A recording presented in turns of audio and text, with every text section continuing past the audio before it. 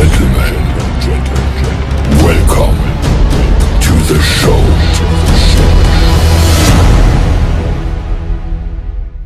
Herzlich willkommen zurück auf meinem Kanal. Ich bin's, euer Wutan Matthew und ich präsentiere euch heute mal wieder eine kleine Flohmarktausbeute.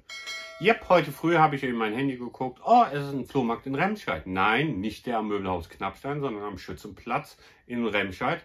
Also ein Kirmesplatz. Platz riesengroß, natürlich nicht ganz bebaut mit Ständen. Viele Stände kannte ich sogar von Knappstein, muss ich ganz ehrlich sagen, viele Betreiber.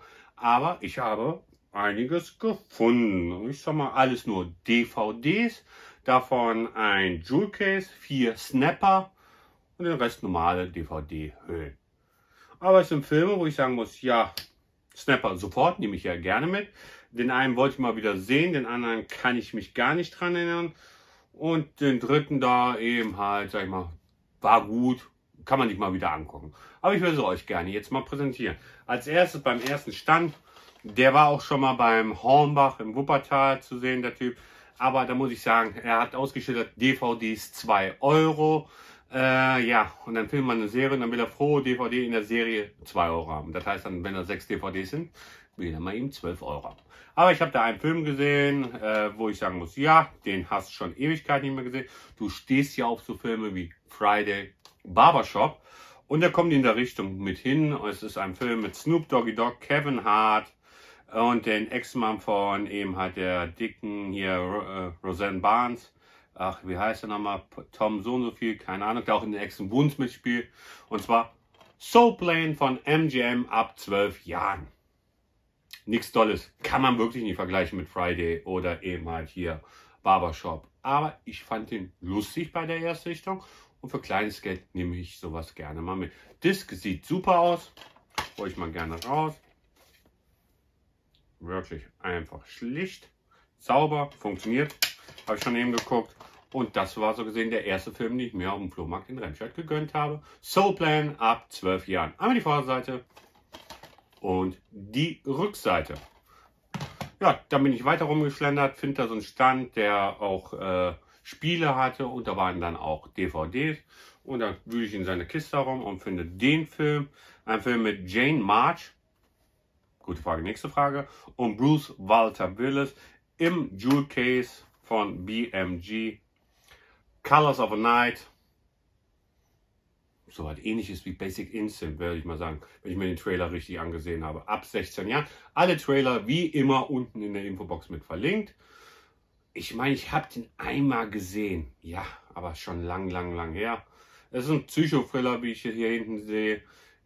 Ich würde euch auch gerne mal die Rückseite zeigen. Da muss ich nur jemand zuhalten, weil man sieht Mimis, sogar schöne. Äh, Machen wir es mal so. Und einmal hier die Rückseite vom Film Color of the Night. Aber dazu kann ich auch absolut nichts sagen. Aber so, auch hier die Desktop Innenprint, aber auch da wieder hm, sind Mimis zu sehen. Machen wir es mal so. Und das war der zweite Film, den ich mir am Flohmarkt gegönnt habe. Color of Night mit Bruce Walter Willis und Jane March ab 16 Jahren für kleines Geld. Dann am dritten Stand, den Film, den ich früher lustig fand und den einfach jetzt mitnehmen wollte, weil den kriegt man auch so nicht mehr großartig. Also ein Film mit Vince Vaughn, Ben Stiller, Christian Tyler und Rip Thorne. Rip Thorne ist von Men in Black, wenn ihr noch die Filmreihe kennt. Voll auf die Nütze, Dodgeball. Sonderausstattung. Uiuiui. Ja, worum geht's? Ben Stiller, ein äh, Hand, wie heißt dieser Sport? Brennball. Brenn, Brennball oder wie hieß das nochmal? Schreibt mir unten in den Kommentaren. Nennen wir es äh, Dodgeball wie hier. Spieler, wo man sich mit den Bällen beschießen muss und wenn man den nicht fängt, ist man raus. Äh, ja, bei der Erstsichtung war er lustig. Wie er jetzt ist, keine Ahnung, aber ich habe ihn jetzt in meiner Sammlung und kann mir den endlich mal wieder reinziehen. Einmal die Vorderseite und die Rückseite von Voll auf die Nüsse mit Vince Vaughn und Ben Stiller ab 12 Jahren. Jawohl. Ja, aber so muss ich dann sagen, war der Flohmarkt so hm, schleppend. Da waren dann zwei Schallplatten-Dealer, wo aber einer auch eine kleine, feine Kiste hatte mit Musik-DVDs. Also Konzert-DVDs. Und ich wühle und mir fallen direkt zwei auf und die habe ich sofort mitgenommen. pro Stück wollte er da 2,50 haben, war mir auch da egal, weil es sind Snapper-Case. Es ist ein Snapper-Case vom Konzert Led Zeppelin, uh, The Song Remains the Same. Jetzt erschießt mich nicht, was Led Zeppelin für Lieder geschrieben hat. Aber es ist ein top erhaltenes Warner Brothers Snapper Case und dann noch ein Konzertvideo. Und deswegen nahm ich das mit. Hat eine Spieldauer von 132 Minuten und ist ab 12 Jahren und vor allem der Verschluss sauber. Klickt noch schön. Und auch hier Disk sauber. Alles top erhalten. Und da kann ich nicht Nein zu sagen zu einem top erhaltenen Snappercase. Und dann mein erstes Konzertvideo. An die Vorderseite und die Rückseite von Led Zeppelin. The Song Remains the Same. Aber das war ja nicht die einzigste DVD, die ich da mitgenommen habe, sondern auch noch eine zweite. Und zwar auch wieder ein Konzertvideo. Das habe ich schon mal beim Pickerchen gesehen. Grüße gehen raus an dich, mein Freund. Und zwar, es ist ein Konzert von The Rolling Stones, die Band, die auf der Bühne verrottet. Und zwar The Rolling Stones Bridges of Babylon oder Bridges to Babylon. Ja, I Can Get No Satisfaction. Ah, tolle hat Rolling Stones. Also das ist auch eine Band, die sogar der Großvater mit seinem Enkelsohn oder Enkeltochter noch hört. Grandiose Band, grandiose Musik und ein top erhaltenes Snappercase von Rolling Stones Bridges to Babylon Tour 97 bis 98. Alter. 97. Da war ich 17. 98 wurde ich 18. Alter Verwalter, bin ich ein alter Sack. Ja, Hammer. Aber sogar die Urenkel von meiner Mutter kennen die Rolling Stones schon. Einmal die Vorderseite und die Rückseite und diese DVD ist ab 0 Jahren. Und mein zweites Snapper, was ich mir geholt habe. Ja, dann bin ich kurz vom Ende nochmal an einen Stand vorbeigegangen, sehe seitlich, auch, da sind ja Opa-DVDs, wühle herum. Ich so, ja, super, nehme ich auch direkt mit. Film habe ich hier schon rumstehen. Äh, wo steht er? Da steht er. Hier ziehe ich mal so ein bisschen raus. Aber jetzt habe ich den auch im Warner. Snapper Case. Aber der bleibt trotzdem in meiner Sammlung drin. Und zwar Steve McQueen ist Bullet ab 16 Jahren mit der längsten Verfolgungsjagdszene mit zwei schönen Autos ab 16 Jahren. Auch hier das Snapper top erhalten und ich habe wieder ein weiteres Snapper Case in meiner Sammlung und ich bin richtig, richtig happy. Einmal die Vorderseite und die Rückseite und ich glaube, den Film schaue ich mir heute Abend mal wieder an. Den habe ich schon ewig, Ewigkeiten nicht gesehen. Hammer. Ein Sniper von Steve McQueen. Bullet. Jetzt ein Film, den ich früher richtig gut fand und den auch zu einem schönen Kinderfilm halte, muss ich ganz ehrlich sagen, auch für jung und alten Film. Mit eben halt der guten alten Whoopi Goldberg. Nein, es ist nicht Sister Act. Es ist auch ein Film mit Ray Liotta, der leider viel zu früh verstorben ist. Ein grandioser Schauspieler in meinen Augen. Corinna, Corinna. Worum geht's? Ray Liotta ist ein Witwer, der seine Frau verloren hat, natürlich berufstätig ist und hat ein kleines Kind.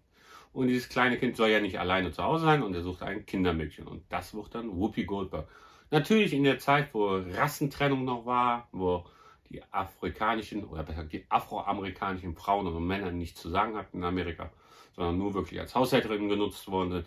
Toll, richtig toller Film, ab null Jahren. Und ich habe diesen Film endlich mal in meiner Sammlung. Einmal die Vorderseite und die Rückseite.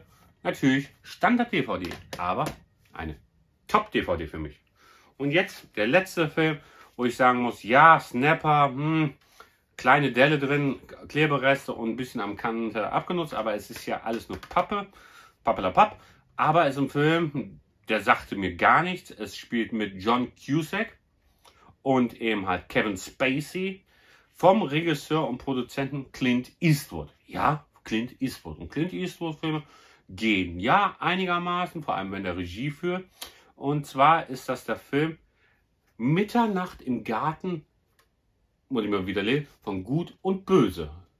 Trailer habe ich mir jetzt angeguckt, sah vielversprechend aus. Hier seht ihr auch, da ist ein bisschen, na, wo ist es? Da Klebereste. Und hier ist auch eine kleine Delle drin und hier ein bisschen abgenutzt. Aber jetzt zurück zum Trailer. Der Trailer sah vielversprechend aus. Und ich habe mir dann gedacht, ja, da kannst du dich glücklich schätzen, diesen Film im Snapper zu haben. wäre auch so gesehen meine aller, allererste Erstsichtung von diesem Film, weil der Film sagt mir absolut nicht. Kennt ihr den Film? Mitternacht im Garten von Gut und Böse. Dann schreibt es mir mal unten in den Kommentaren. Würde mich mal brennend interessieren, was ihr von dem Film haltet. Ab zwölf Jahren, 159 Minuten, natürlich wieder ein Film, wo man sehr viel Sitzfleisch haben möchte, muss. Aber top eigenes Snapper-Case für eine Art und Weise. Für kleines Geld eben halt mitgenommen. Einmal die Vorderseite und die Rückseite vom Snapper. Auch hier, der Verschluss ist noch dran. Disk sieht gut aus. Innen sieht alles gut aus. Nur eben halt wirklich. Na, gehst du zu. Eine Seite hier ist ein bisschen Luft drin. Das sieht man hier. Oder da an der Kante sieht man es. Aber, mein Gott, kleines Geld nimmt man sowas mit für einen Euro. Und das war so gesehen der letzte Film, den ich mir auf dem Flohmarkt in Remscheid auf dem Schützenplatz gegönnt habt. Was haltet ihr von meiner Ausbeute? Ist es jetzt nicht viel, Upsala, fallen mir nicht runter, aber doch schon etwas Schönes dabei für mich. Kennt ihr einige Filme? Wenn ja, schreibt es mir in den Kommentaren. Was haltet ihr von den Rolling Stones oder von Led Zeppelin? Hilft mir, was für Lieder haben sie gemacht? Oder kann man das hier hinten sehen? Vielleicht erkenne ich dann ein Lied, ich weiß es nicht. Äh, äh, ich bin ja doof. Stairway to Heaven. Danke, danke. Ja, jetzt weiß ich, was Led Zeppelin ist. Äh, ja, ich bin blunt. Aber schreibt es mir gerne in den Kommentaren. Mögt ihr die Musik von Led Zeppelin oder Rolling Stone? Magt ihr die Filme wie Corinna Corinna? Würde mich brennend interessieren. Aber ich würde sagen, macht dich mal Solle. Bis demnächst. Und tschüss, euer Wutal.